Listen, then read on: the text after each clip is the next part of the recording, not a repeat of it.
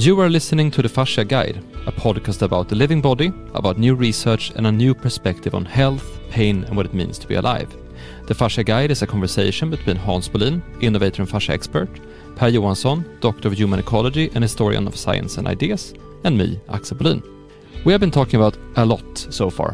Why fascia, why we're interested in it, what fascia is, what fascia does, uh, why we are thinking the way we're thinking about the body and why fascia is not mainstream and why it's so hard for fascia to become mainstream. And we've talked about the subject of, of flow and how you begin to understand the complexity of the body in a simple way.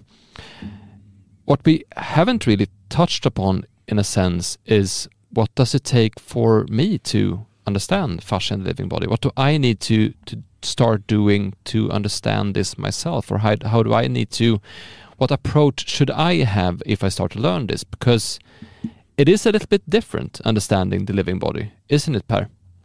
Yeah, certainly. It's very different because uh, uh, because it's living, and uh, our usual, uh, as we have said in some earlier earlier episode, our usual way of thinking is very much uh, focused on uh, concepts and and, and certain words that are name names for concepts, like the body.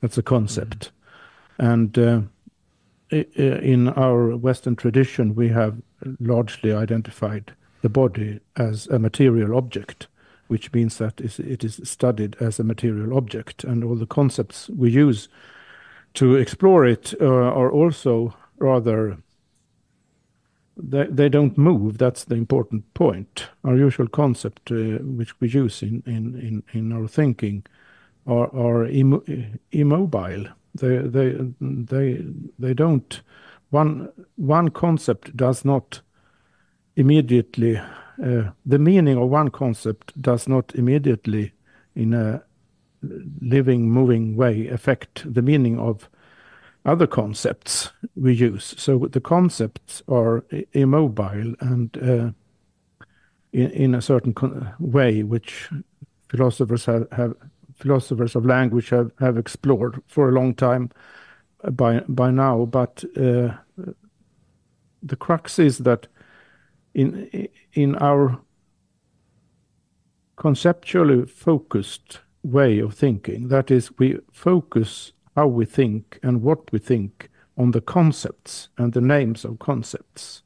That way of thinking has great difficulties uh, encompassing uh, living, living things, living creatures, living bodies, living animals, living human beings, because the what is characteristic of living everything that is alive is that it it it's mobile. Mm. it's it, you can't capture it in an immobile concept. Uh, you can only the only thing you really can capture within our usual conceptual way of thinking is uh, a certain basically artificial way of ordering things in order to make it possible to think about it very very clearly and logically but uh, it's uh, th that way of thinking is designed to clear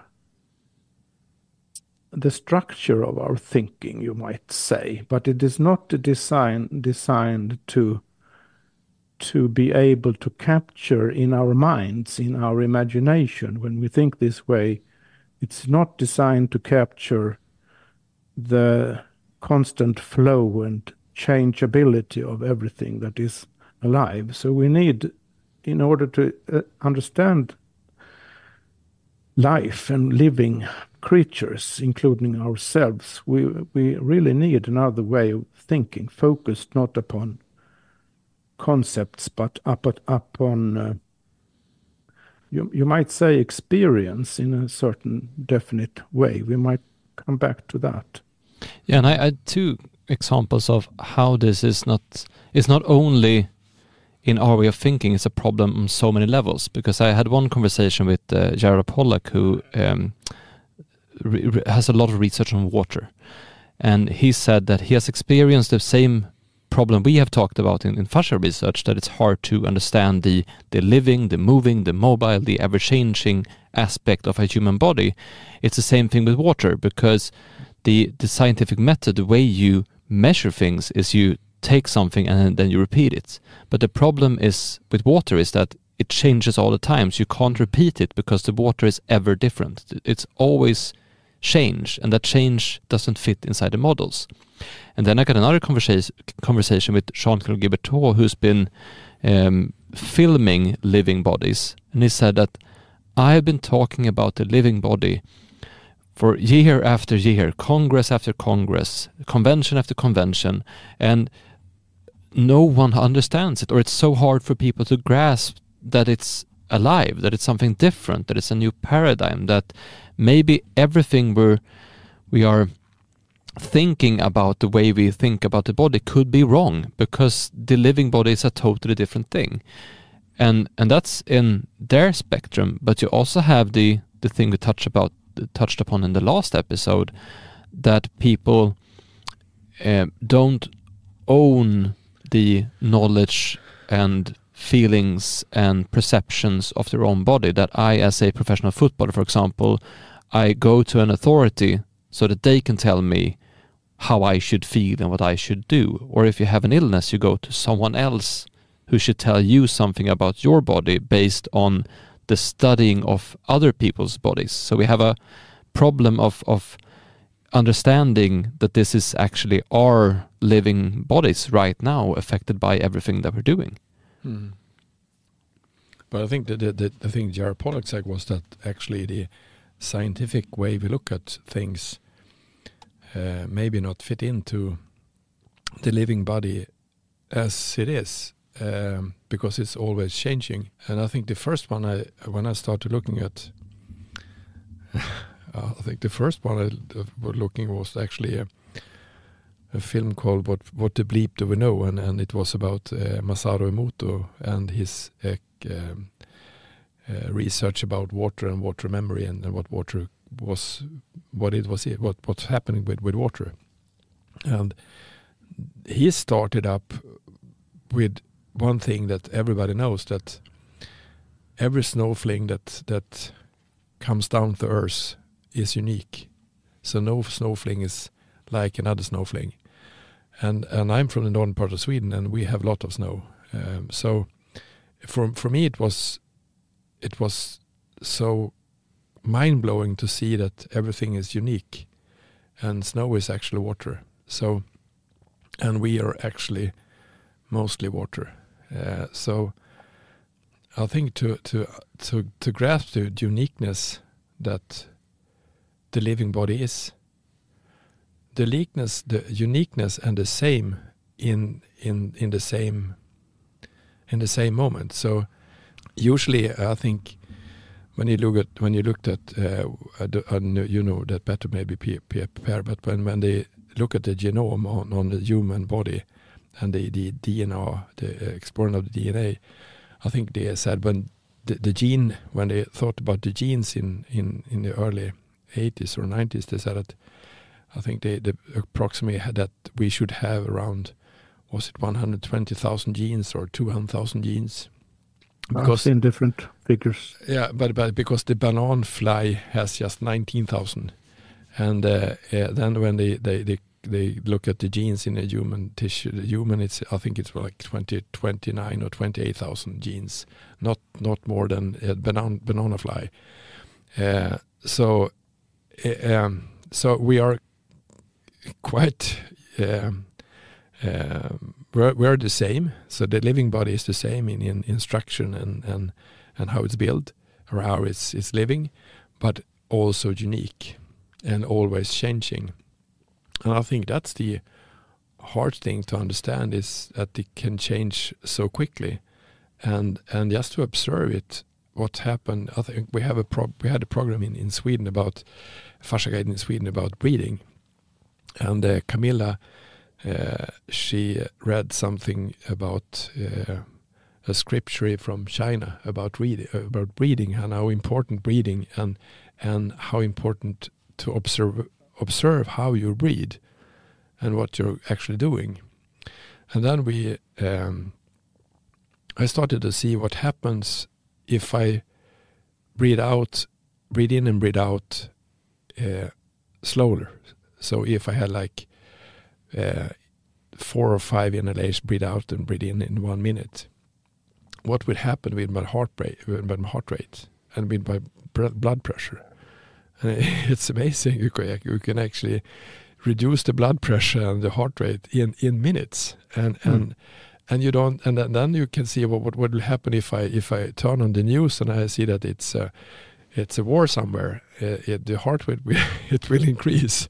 So everything is living, everything is is um, evolving around what what what perception and what things am I uh, into, and mm. and and that I think that's that's the hard thing if you if you see uh, how can um, if you look at the the living body as a whole and with everything so with everything I've been involved with traumas and or or happiness or whatever everything is in, in is is yes I've been living in me inside of me or outside of me. And that's another perspective that's quite quite hard to to grasp for in modern science I think because it's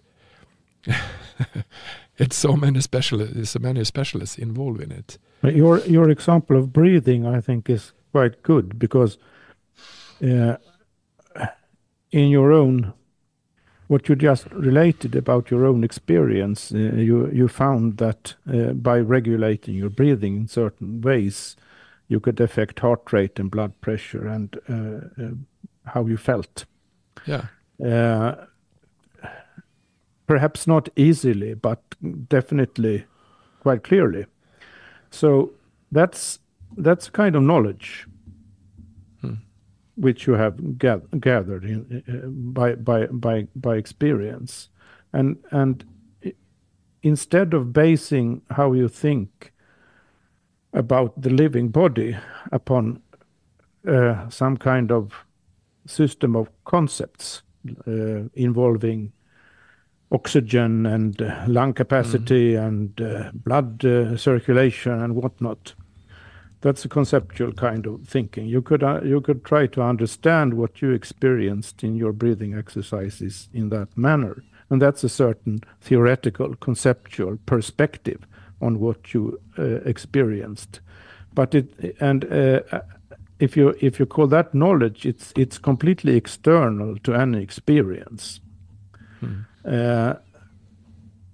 but at the same time, you ca- you cannot say that things having to do with oxygen absorption and heart rate and uh, all these quantitative and uh, molecularly based uh, kinds of understanding. You can't say that that's irrelevant to the understanding of breathing. So, what is it? It's another perspective. So, mm. you have now, by, uh, you have two perspectives. You have the perspective of uh, your own experience, and you have have the perspective of a theoretical uh, biological under, understanding. There's no sense in saying that one perspective is more correct or more true than the other. The only question is for what purposes is this or the other perspective useful? Mm. So, and, and in order to understand the living body, I would say that the direct experience of the importance of breathing, breathing is more useful to really understanding breathing than the conceptual knowledge. That statement does not mean that the theoretical understanding is not useful or irrelevant.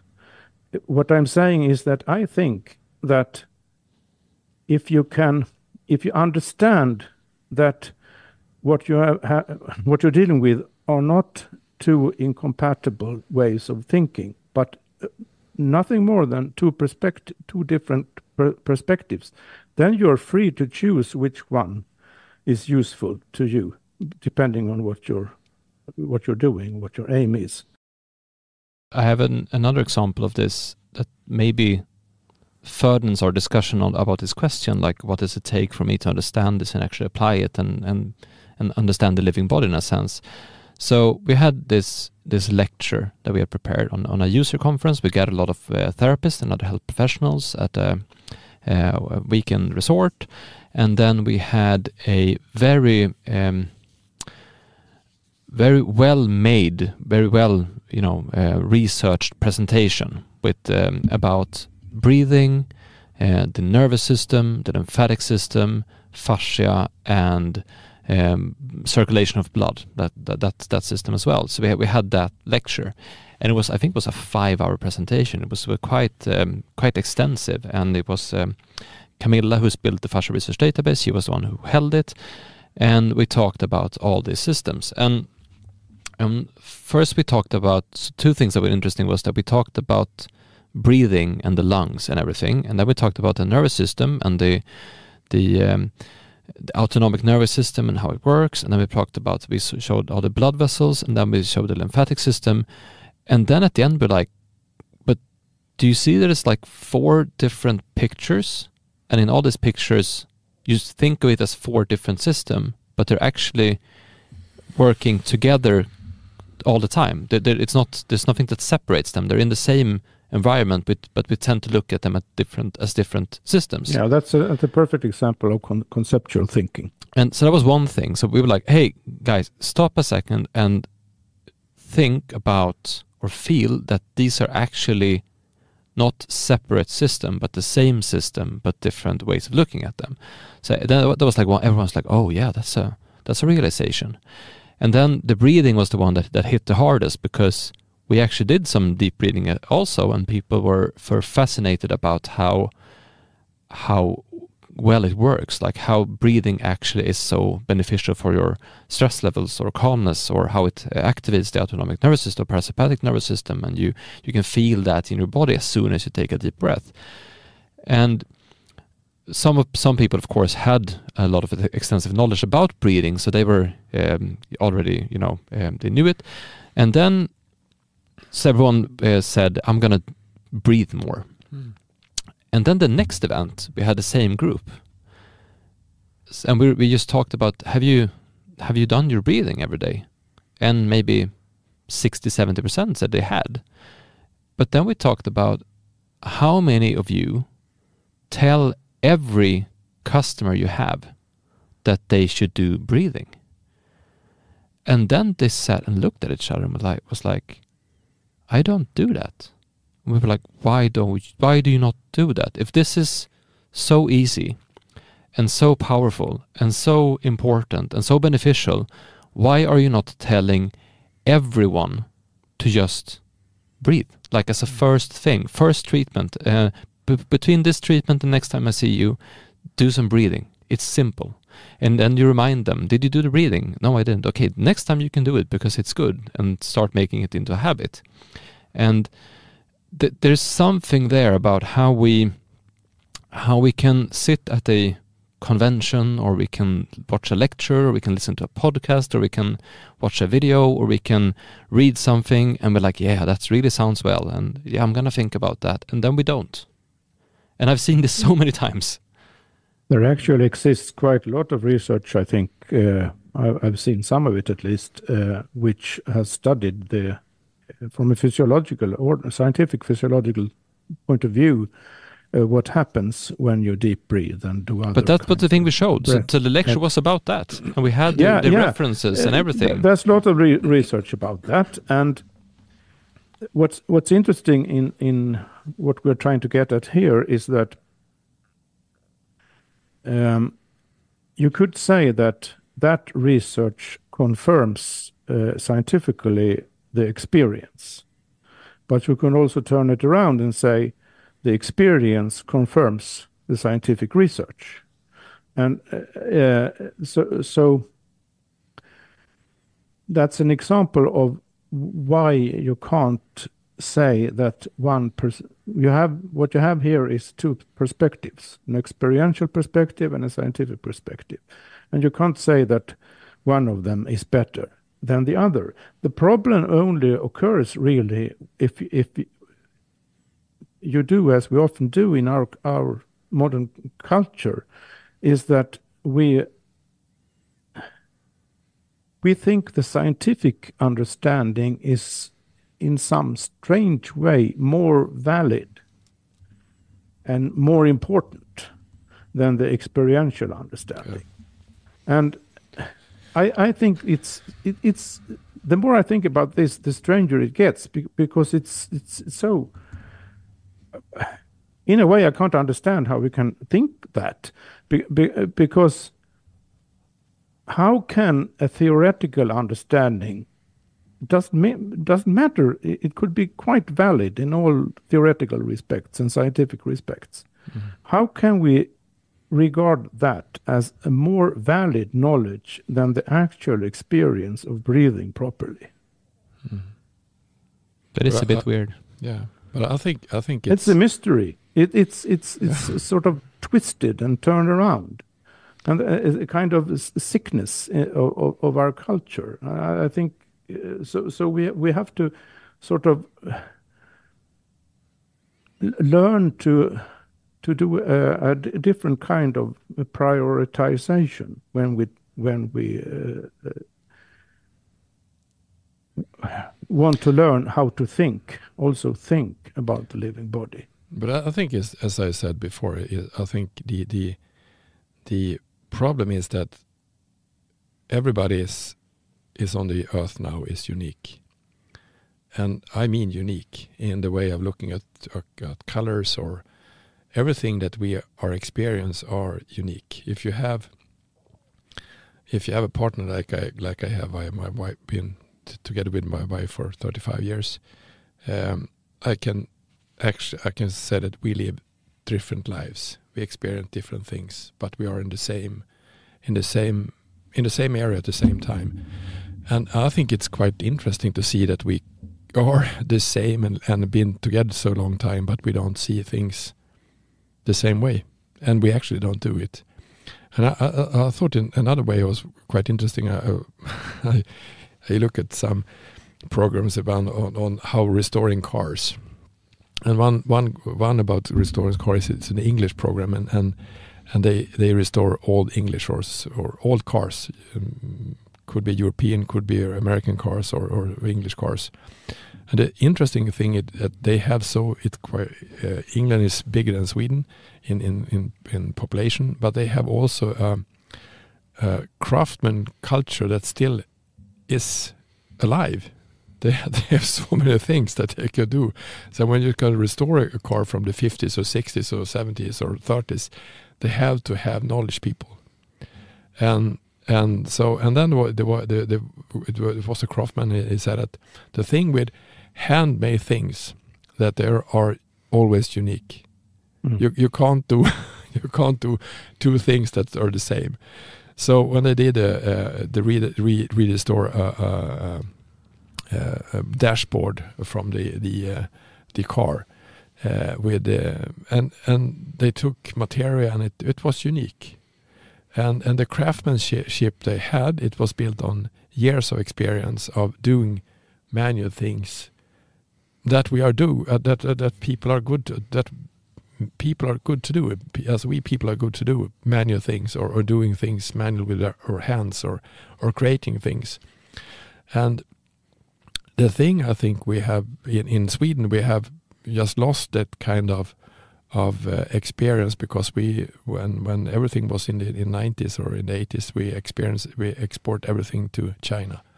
Almost everything we did. So we have and we have really good big companies in Sweden there's not so many small companies really big companies so I think it's also a way of of um, to see the body as a whole and see my experience, my knowledge, my way of doing things, or my.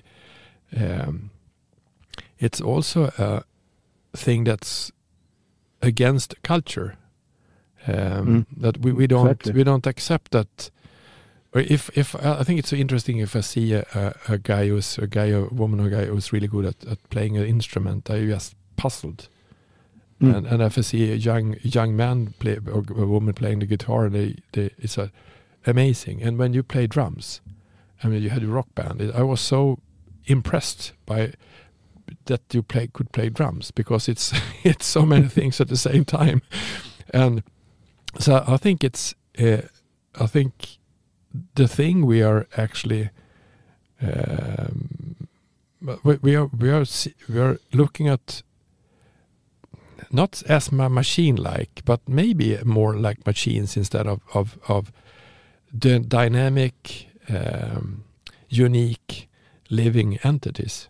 But but it's also we had we have a mis misperception of where knowledge lives because we as we talked about in the i think it was the fourth episode or the fifth episode we talked about aristotle and how yeah. how every how re the real valuable knowledge is actually outside of us. It's in it's in scripts or it's in uh, it's in text and words and books and literatures and, and and now we have the research report. So like the, the valuable knowledge about something is in the actual report. It's not inside the person.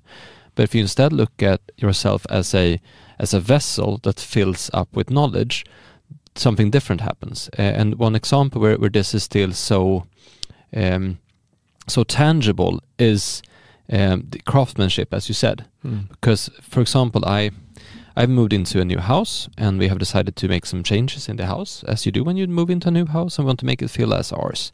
And one thing is that the we needed to isolate the the outhouse where we store tools and and uh, stuff basically, and so that in in winter it doesn't get too cold because it gets if it gets too cold clothes are um, uh, destroyed. So it needs to be uh, certain temperatures. You need to isolate it, and when we did that, we were like, should we hire someone to do it or should we do it ourselves? Well, we should do it ourselves because it's good and we couldn't afford to hire one, but. Um, then my wife's cousin came, and he is a he's a constructor constructor and an constructional engineer and an architect. So he has like both sides of of building things, both drawing things and actual building things, and and that. And he has done a lot of work at his home. So he's he's really professional in that sense. And I remember when we did that because it was so easy. It was so easy to isolate this this building because he was like, well, you do this and then you do this and then you do this and you do that and here's the thing and here's the cut and here's the uh, measures and here's that and you put in and we have this uh, we have this type of screws over here and this type of screws over here and then we have this goes up there and that goes down. You do that, you do that. Then next step is this and this and that. And we did it and it looks great. And then my neighbor came and he said like, can I hire you to do this at my place? And I was like, yeah, of course, I know I've done this now, so how hard can it be? But then I, I, I thought about the process we just went through. And I realized that I was the muscle. I, I just did what I was told by someone, and then I studied him when he when he worked, and I saw that he was actually figuring things out based on the experience of As building similar things, mm.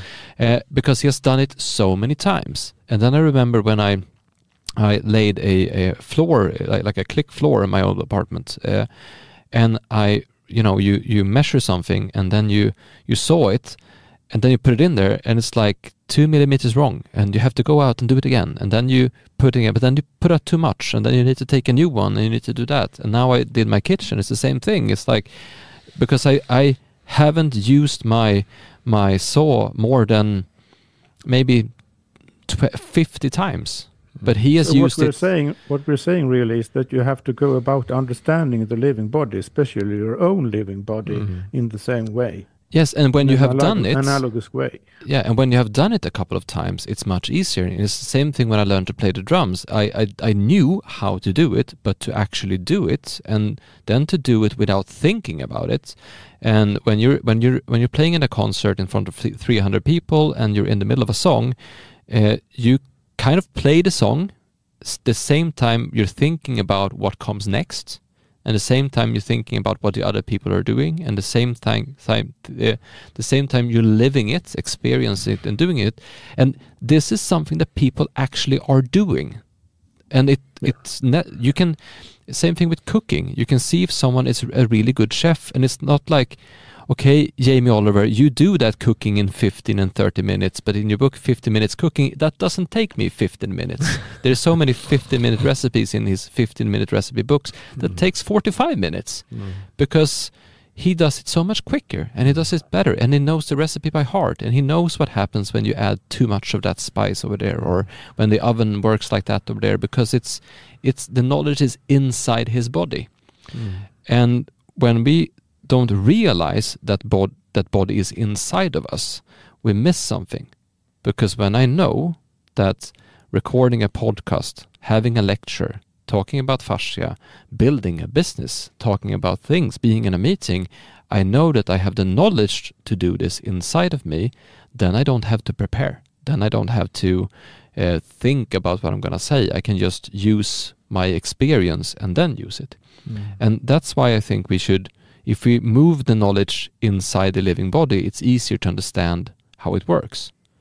If you think of it as something we have. Well, I think the, a, uh, the the problem to understand fascia, that's the, to understand it yourself and how, why it's so hard to understand it. I think it's about perspective because it's so different. So when we when we educate uh, people in doing, it usually the people that come to us are skilled uh, manual therapists, but with the wrong perspective. So then it's like training them to understand another perspective, and that's that's not easy.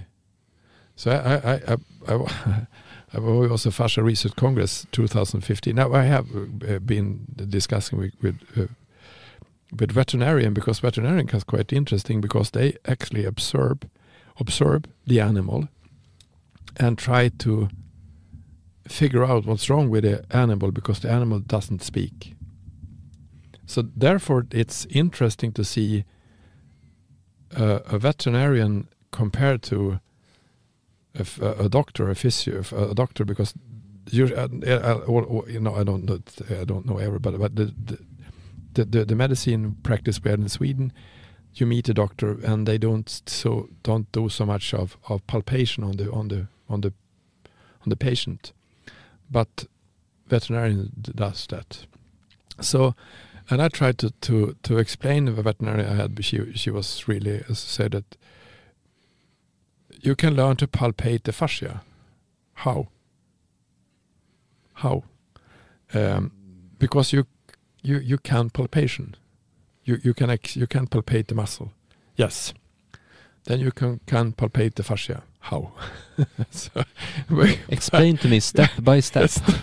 and I did. And I said, and it's it's so different because uh, can you feel the the uh, the tension now and how it's moving? Where? so it's a, because if you if you're stuck in a perspective that everything is separated, then it's quite hard to to understand to, to actually. But she was trained to train her to feel other different things or to see different things, as we had we had, did now for. We tried to see, can we how can we look at a horse uh, and see unbalance and balance, or can we balance a horse? So we we can we can do we can look at the horse and we can palpate it and we can so look at the posture and how the, the horse is looking and then we can treat the horse and we can change everything. Uh, and then I, was thinking about how what, what what's the what's the what's the kind of of uh, technique or or um, or machines or devices uh, what shall we use? And we try to use a way a, a, a, a Swedish invention that they can see uh, the the um, uh, you film the horse and the, yeah, the, these alignments with with the horse. But it was too complex. So the easiest way was when we saw it was actually to see uh, how is the posture on the horse, on the whole horse, to to to see the whole horse and to see, okay, if it's if it's too much pressure on the on the on the front, uh, on the uh, right front. Where is this going, and what can we do, and how can we treat it, and how can we release the pressure in that area, and that's actually more of it's quite easy if you see the perspective. It's quite hard if you don't see the perspective. So if you don't see the living body as a whole and everything is interconnected at the same time, uh, then it's it's not easy. The, the interesting with with um, uh, uh, veterinarian or the, the, people who do animals, but they quite because they look at the the this the uh, firm and the and the everything, the eyes and and the the um, the feet and everything, because they observe everything. But how they actually do the conclusions, it depends on what kind of perspective they look at. So I think fascia from uh, my perspective is I, I, I think it's sometimes I think it's quite easy, and sometimes I think it's extremely complex because if you have if you have you can actually see you can have, have actually have things that physical in the body that you can't get rid of by treatment if the if the physical component is due to a process that you have or a, a, trauma or something that you have been into and you don't get rid of it. You can't get rid of it then then you have a that that's psychology but that's an experience that's that's so hard it's so um, so cemented in the body so concrete in the body that you can't take away the the um, the um, wound or the the thing in the body without taking away the, the experience at the same uh, or releasing the experience at the same time. That's not always that that case, but it can be, and that's the, then you are if you look at the living body and anything, everything uh, that your experience is actually inside. It's it's in the body. Uh, that's a that's a really in fascia way. It's it's if you, you, see in the fascia perspective and and you see the, the fourth phase of water, everything, that's actually not uh, not hocus pocus. It's actually it's it's it's it's how it is. It's anatomy and it's it's it's um, it's concrete. It's it's solid. It's a solid way of looking at the, the living body, but it can be spooky or or it can be strange. It's you have to include all factors at the same time. And the thing is that when you have a the way we are used to understanding things is one thing at a time. But if you look, for example, at that image, hmm. you can see everything at the same time. So even if you're not aware of what you're seeing, your eyes can see everything at the same time. That's the, that's something I'm. We have a weird way of um, understanding our own senses. Because if I if take, for example, a, a camera, mm. I can use the one of the best cameras there is and take a picture of a beautiful sunset. Mm. But seeing the beautiful sunset with my actual eyes will always be a so much better experience. Mm. Like it's it's so the what my eyes can see, like how much I can zoom with my eyes, is not the same that what you can do through a medium, like for, through a camera. Mm. So there's always we have a, a way of our way of perception is much more advanced than we think. But what what's also interesting in terms of the of the subject, where we what, what does it take to understand this? Uh, when people see, like if you're that veterinarian, and you actually see those pictures of the horse's posture, or like we have done since um, 2010 we have taken pictures of people's posture and mm. showed it to them mm. and then I, I see my own posture and i'm like do i really look like that and then i point to something like can you see that your arm is lower than your other arm mm. and they are like yeah i can see that i have never thought of it before i can look at myself in the mirror all the time but i haven't noticed this. It's like when you're when you're pointing out um, there, there's like if you if you take a a, a f- movie that you think is perfect and then someone points out a flaw in that movie that could be forever ruined or that could be forever changed. Then you, you, you have to if you can't unsee it if you have seen it you can't unsee mm. it. And that's the uh, I think that's something we need to do if we want more people to be interested in the living body to understand it is to to show them things that they can't unsee to get them interested in a, in a way or realize something that they haven't realized. Like what we've done with the images when we take the picture of someone show this is how you look and people say do i look like this? It's harder to forget that than it is to forget um, reading about posture or listening to a lecture on posture. When you see yourself it's you remember it more Hmm. If you breathe yourself, you remember it more than if you hear me have a lecture on breathing. So it's it's something with the experiences, the, not just thinking about it, but seeing, feeling, touching, hearing, uh, tasting, that is more um, that makes us remember it more. The, I think the importance of what you've been saying now is that uh, in order to get uh, a good basis for understanding the living body, starting with your own, is to combine your experience with observing things, observing how you react, observing yourself externally, and then also uh, in relation to other people, you can observe other people, you can uh, experience your contacts with other other people, and and on an abstract level, you could say that a really good basis for knowledge about life and living the living body is to to consciously develop experience uh, develop and think from the basis of a combination of experience and observation uh, and uh, including in, in all kinds of intuitions. And uh, interestingly enough, that is how uh, science is supposed to work. Science is a, a is a pra pragmatic, uh, empirical endeavor, really concerned with, with observations and experiments and trying to figure out and describe and understand what does this observation mean? What does this experience mean? How do these experiences relate to these observations and then you express this in more uh, uh, in, in some um, theoretical way. This means that the theory is based in experience and observation.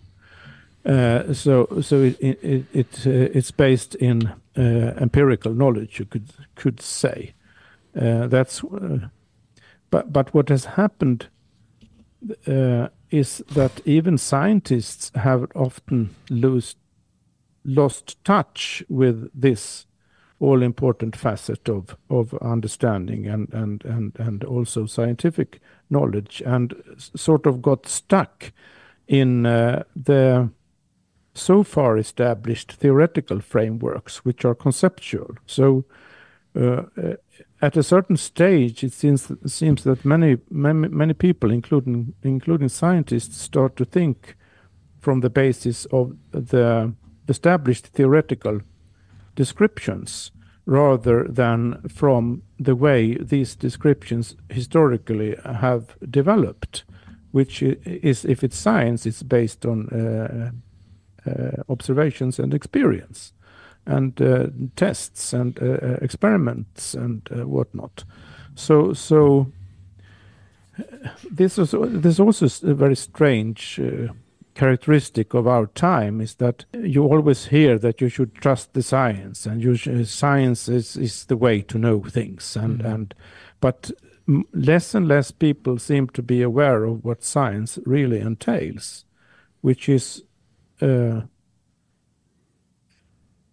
it entails and means that you strive for an adequate realistic knowledge based once again upon upon experience and observation and experiment mm. and theories grounded in observation and experience not science is not uh, really about uh, thinking in the right way or adhering to the correct theory or anything like that mm. but that is what it has become more and more these days and this is also so something which hinders uh, uh an adequate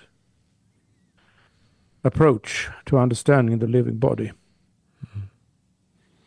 I think I think we talked about yeah, I think I was talking about yesterday. I, I, I didn't I was talking to you actually I, I didn't get a manual about how my body is working.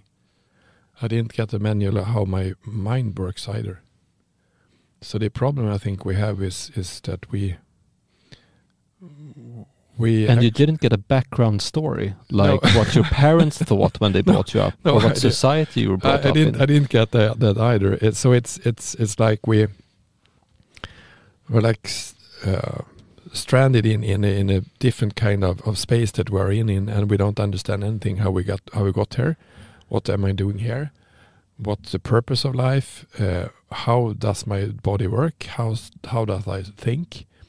The interesting way of of experience um, uh, your body and your wholeness or your living body is to get treatment or get to meet someone that could reflect uh, what you've been what you've been doing. I did I did a, a thing with a with a customer, a, a, a, woman I treated just for a couple of days ago, and and I wanted to adjust her pelvis and to see, but the thing was that she she was stuck in a way of of of looking herself. She was not living her own body. She was living in another. She was um, living someone else's life. Yeah, in in in many different way. But it's hard to understand. It's hard to explain for the woman who's live, li lying, lying there on the bench that maybe you should wake up and, and take care of your own life, not not do so many things about other lives, but but be your take your be be your first your first uh, be, be, take care of yourself first and love yourself first. And then but then I, I I, I think maybe I can do see if if I can get her to feel her own body and see if she can do the um, adjustment of the one one way of adjust the pelvis by herself. So then you can do the symphysis. You can just touch it really soft, uh, and then you can change the pressure on on the symphysis. And, and I put her hands on the symphysis and and and my my hands on what do do feel any change? Yes, it's higher on the, on the left side. Okay, can you can you make a little bit pressure on it and see if you can change it? And it actually did. And she was so happy because yes, yes, I can feel it now. I can feel it now. And then then then then she she adjusts the body herself. So and that for for for her it was an epiphany to see that I'm alive and and my body is alive and I can change things. And I think mm. the, the problem is to see is to to understand how uh, how the living body is always adjusting for everything as I from the beginning. The the um, the breathing can change the blood blood pressure, and the blood pressure is is is due to the the the environment in and the heart and everything. So everything is is due to blood pressure and and the heartbeat. You can change it, and you can change if you change your breathing, and you change your heartbeat, and you change your blood pressure. You you you get another perspective if if you change your you can actually be it's like in the matrix you can actually like it's like looking at uh, agent vad heter han? agent Anderson? No. Yeah oh agent Smith. Agent in Smith. The matrix. No in the you, you, he, she look at he look at agent Smith and and he's like slow. So if if you if you if you breathe and and and lower your blood pressure and lower your your heart rate then you can actually get another perspective of people, of, of animals, of the living life, because everything stops down and you get more present. So it's also a way of, of, of discovering, oh, can I change my senses? Oh, can I can I change see things in another way? And I think also a way you can that we train people to do is to feel to feel the the, the connective tissue and the fascia and everything how it's moving and, and what's what's what's the flow in the body? Where is the tension? Where does it go? And that's that's really strange because we haven't been taught that. But if you look at, uh, for instance, I look when when we what do you call it when you put brick when you put bricks of, of cement to people when you do a when you're building a wall. We are building a wall with cement and, and bricks, and we I saw we had many uh, friends that did that. So we're really good uh, craftsmanship in in just uh, doing cement and bricks, and it's amazing to see when they do them when they do it because it looks so easy. And then you do it yourself, and you're like, oh, yeah, and then you try to do it yourself, and it's not so easy. But uh, to to to actually feel things and do things, that's the way I think seven to eighty percent of the people is is uh, if if you look at the, uh, if you look at I think it's 50% of the brain is connected to the hands. Mm. So we are actually born here to be physical, to feel things. Uh, but if you if you don't if to, to understand the, the, the living body is actually to feel and to to take in things that coming your way, and if if we have a scientific perspective that are more not machine like, but but uh, we we we try to take away everything that could be placebo, and then you have also a, a disqualification of that kind of, of measurement or that kind of perception. perception. As Pollack said at the Yellow Pollack, it's it's hard to, to do a scientific experience on water because it's everything is changed all the times. So I think I think I think it it it's a paradigm shift, as Guimberteau say, says, and you have to to um, you have to discover it yourself uh, and maybe I think the, the thing that's driving the fascia way, I think it's yoga and, and other things that's that's coming because then you can tr try to learn to to uh, move your body and your breathe, breathe, breathing and see what's happened. You can actually change your whole body in way of, of conducting things. And I think you have the same in Chinese medicine or in other areas that you, you look at the body in another way. And and um, I think, yeah. Do you want to hear a very humbling um, thing? Yeah. so we're we're talking here. We're in in a podcast episode, recording, and it says, "What does it take to understand fascia and living body?" That's the subject we're discussing, yeah.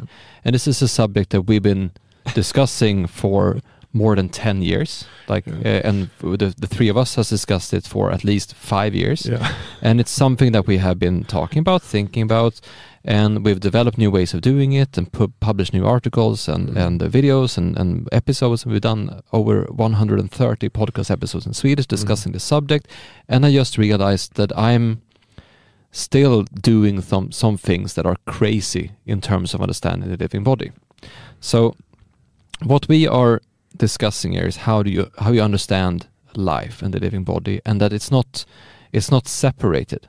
Hmm. Separation is a concept that we have learned that's actually not true. There is no separation, which means that if you have a principle that says something, like a principle um, of flow or a principle of simplicity, it goes it it goes it is is always the same. It's mm. it's in in every aspect of everything.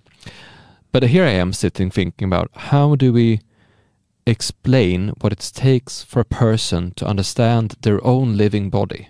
And I'm thinking about how you spark curiosity in people, how do you get people excited about the body, how do you, what can you send them or show them or or give to them so that they uh, get that experience that that gets them interested, that changes things. And then I just realized that we have we have certified 300 fascia therapists and developed a, a, an education to do exactly this. And I never thought to bring that up. Like I, I had separated that experience of teaching someone to become a manual therapist and a th- mm. fascia therapist. I had separated that. I had separated that from learning to understand the body as a person. Mm. And and then that's just an example of how even though we've been sitting here, I'm still separating things because I don't think of it in mm. as the same thing. But then I realized that in that in that educational process that we have developing that program, you said that we, we usually have already trained manual therapists that know how the body works, and there's a challenge with um, rethinking in terms of fascia. Mm. But we also have people who've never before uh, treated someone who's never learned a, a name of a muscle, who never learned anything about the body, also going to this course. And they also have troubles understanding fascia, but in a different sense. But when we do that, we always start with saying you should trust the process, that this is a learning process that you will understand. If you do it time from time again. If you try to feel it, if you you do it once, you don't feel it. You do it again, you don't feel it. You do it third time, you don't feel it. The fourth time, you feel something. The fifth time, you feel something. Mm. The, the sixth time, and then the the fiftieth time, you uh, you think, how could I not feel this all the time?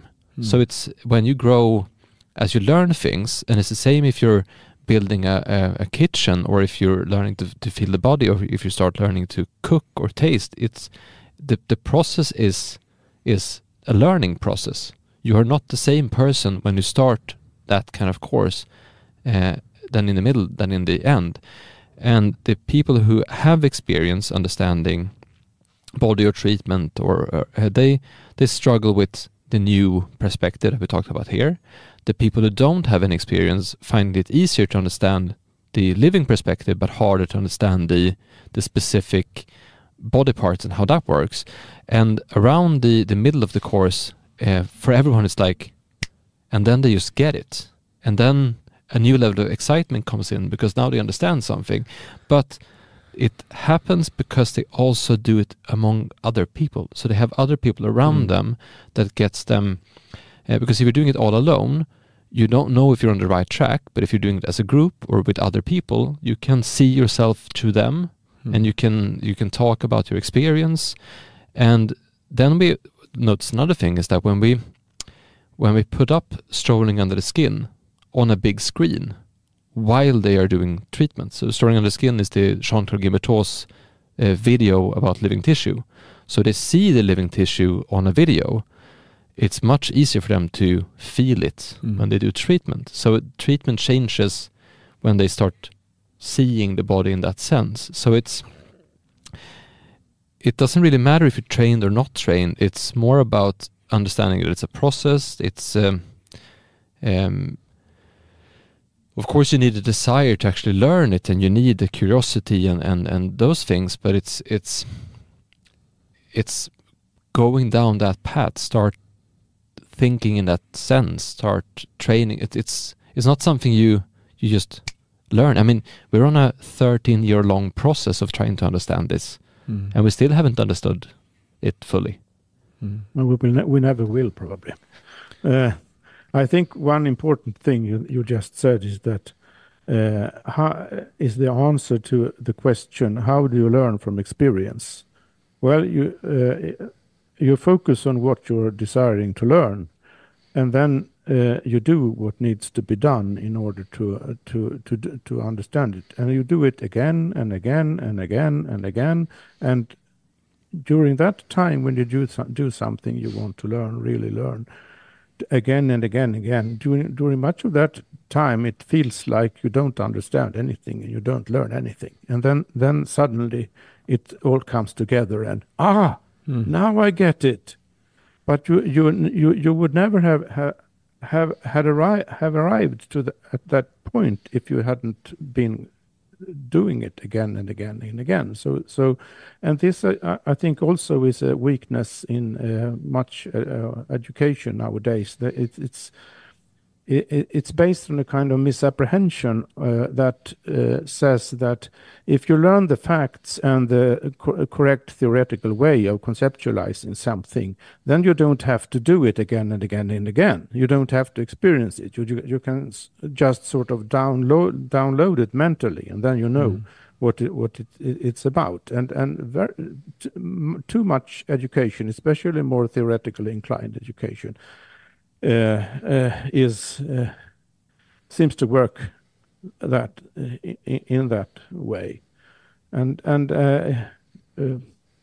so so it's it's it's a kind the the fixation on theoretical knowledge, I think, is also due to sheer laziness, actually you think you can you can do some kind of shortcut in order to understand something by by understanding it only theoretically and conceptually and by means of, of lists of, of facts.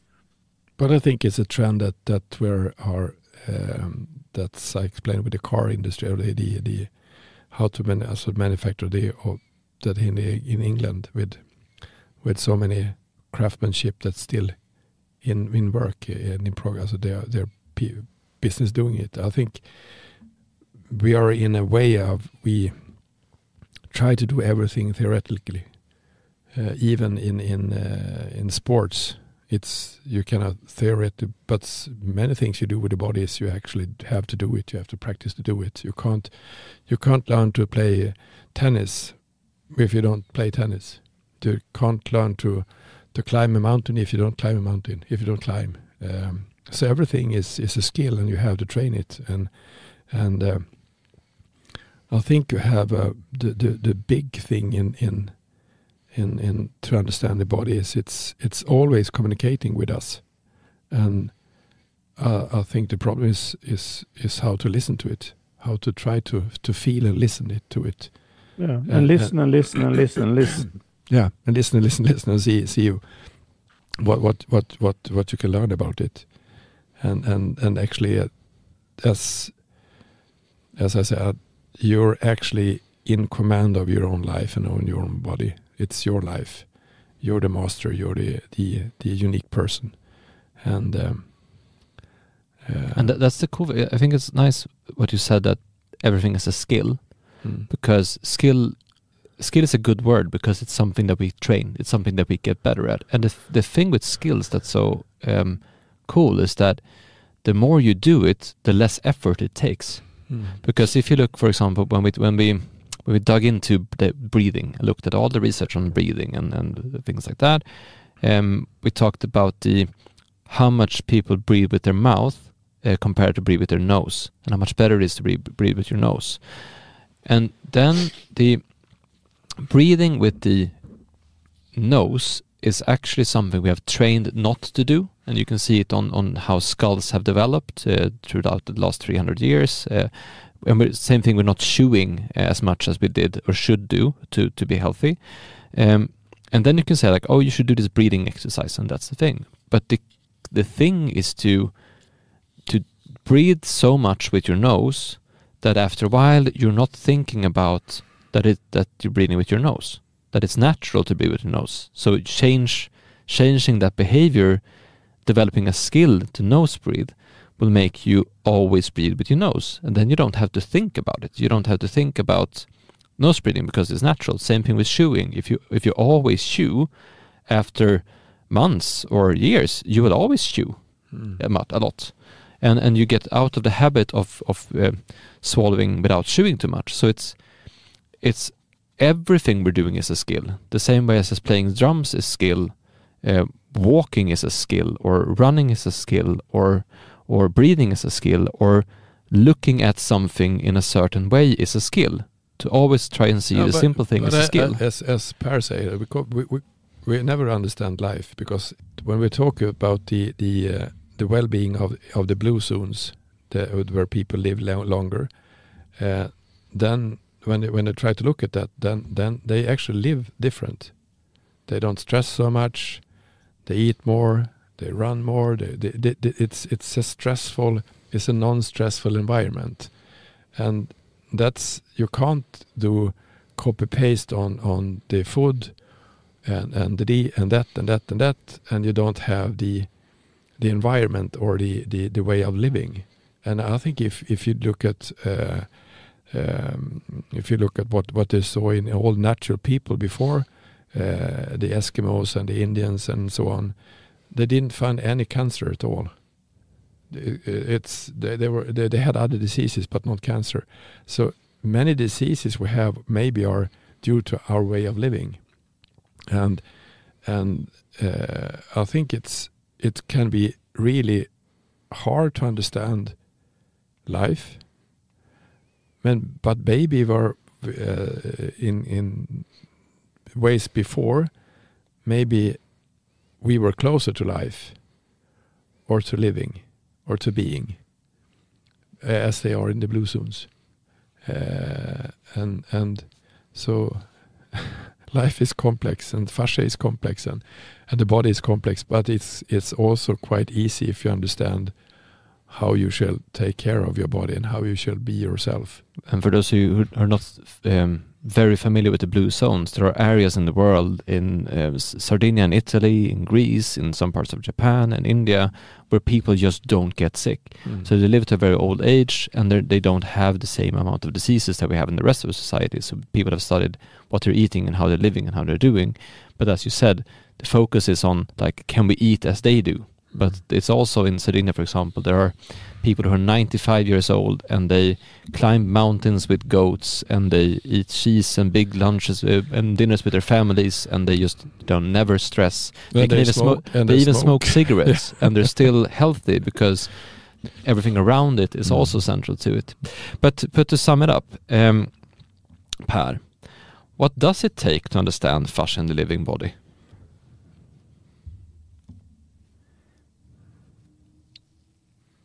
Whether, as as uh, as should have been become obvious by now, there is no single clear answer to that question. Uh, but it, it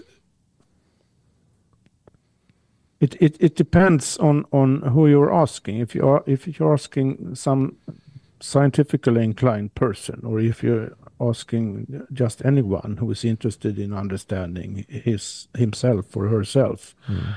Uh, so the answer becomes uh, different. Uh, I, I, I think if you if you're talking about anyone living, the basis must be what we have said in different ways in this episode and also in other episodes, the basis must must be that you have to learn and train yourself to observe and experience yourself what you're actually feeling and how you're actually re re reacting to things without thinking about it uh, un until you have really find that you sort of observe uh, I, I, hesitate to say correctly, but but you you you.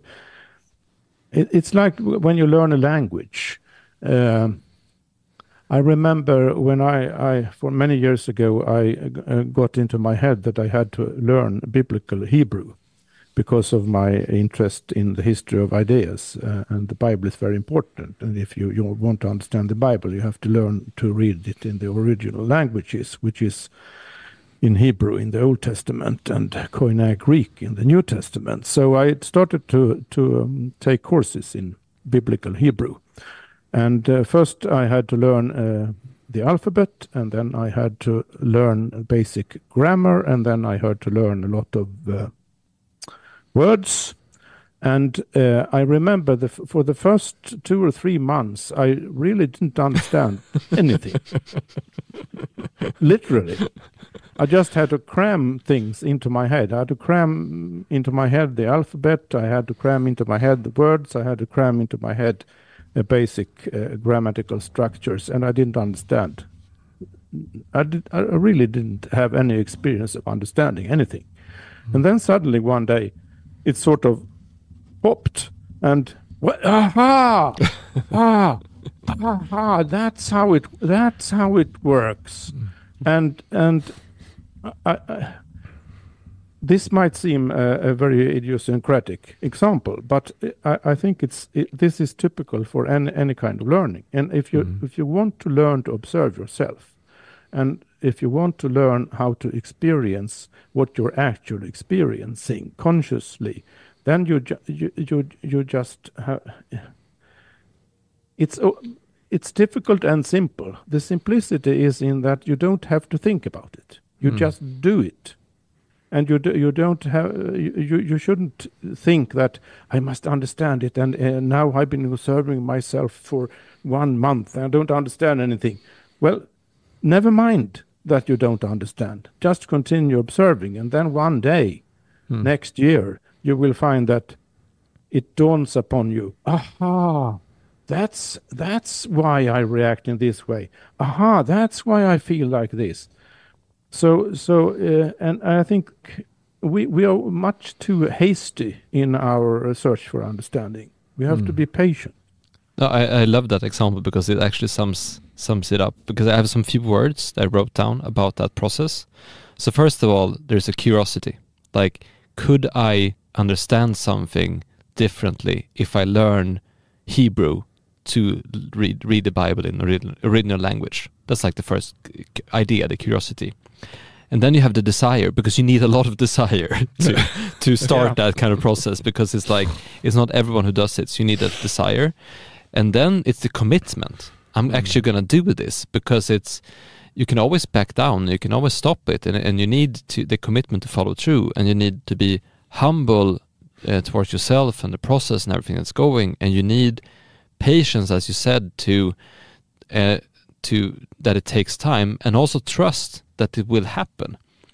Because if you don't trust that you actually will learn it someday, then what is the point of keep going on? So you need you need that that idea of it, and and if you look at the principles as something that goes it it's not just related to one subject or one thing. It's actually principles that goes in everything so if you want to learn something, you need, even if it's learning fascia, or if it's learning to build a house, or if it's learning to understand economics, or if it's learning to understand anything, you need the curiosity to spark your own desire. Then you need that desire to be strong enough to push through. Then you need commitment that you're actually going to finish it. You need the humbleness that you have to probably change the way you think, or the way you are, or your opinions, or or your ideas. You need patience that it will take time, and you need trust trust in that you will find the answer eventually, that it will come to you eventually. And that actually, I think, describes the learning process. Mm, yes. Mm. So that that's uh, would would be one way of briefly answering the question how how you can learn to understand uh, the living body by yourself. Uh, if I would very briefly say something uh, to a, more uh, scientifically scientifically inclined persons, I would say that uh, one part of the necessary paradigm shift in relation to understanding fish, fascia, uh, uh, as I see it, is you have to um, think less in terms of biochemistry and more in terms of other areas of scientific knowledge really basic physics. Mm. Like if if one of the uh, functions of fascia is to load and unload pressure, there's a whole, whole branch of classical physics physics really which mm. applies.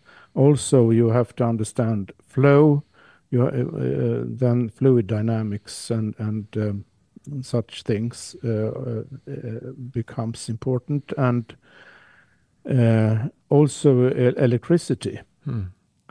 And and uh, very much uh, natural scientific research on the body is is not focused on mm, basic physics. It's not focused on the un, uh, understanding of uh, electricity and magnetism, uh, which is to me, uh, as a non-physicist, is is quite curious because I always thought that classical physics and electrodynamics and things like that isn't that very basic physics? Mm. How can you, if you want to understand the body as as as a, as a kind of material living structure, how can you ignore those fields? Mm. So that I think is part must be part of the, of, of a scientific paradigm shift in relation to fascia. Mm.